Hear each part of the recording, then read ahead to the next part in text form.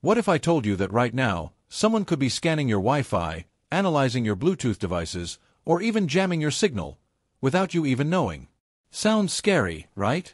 Well, today, we're diving into the world of hardware hacking, where we'll build a scanner, analyzer, jammer, BLE jammer, BLE spoofer, and even the infamous sour apple device.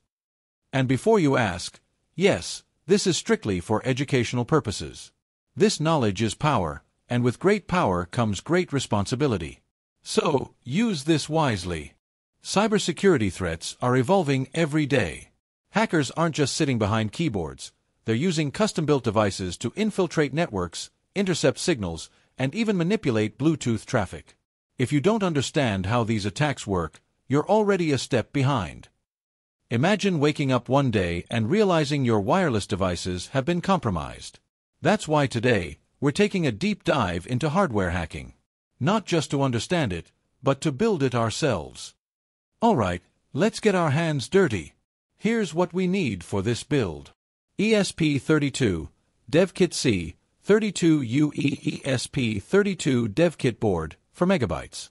0.96-inch OLED display module, white. 5 push buttons. Wi-Fi antenna.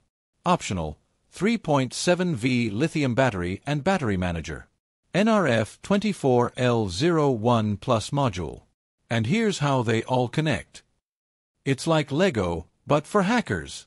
Now, let's get this thing wired up. And remember, if you fry your ESP32, it's on you, not me. Now, the ESP32 is waiting for code. So where do you get it? Easy. Go to YouTube, search for Cyphertech, and find the video titled NRF Box, your all-in-one gadget for BLE and 2.4 GHz networks. Check the description, tap the GitHub link, and download the zip file.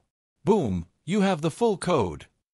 This script turns your ESP32 into a powerful tool that can scan, analyze, and even disrupt wireless signals. But what happens when we actually use it? Stick around to see the results.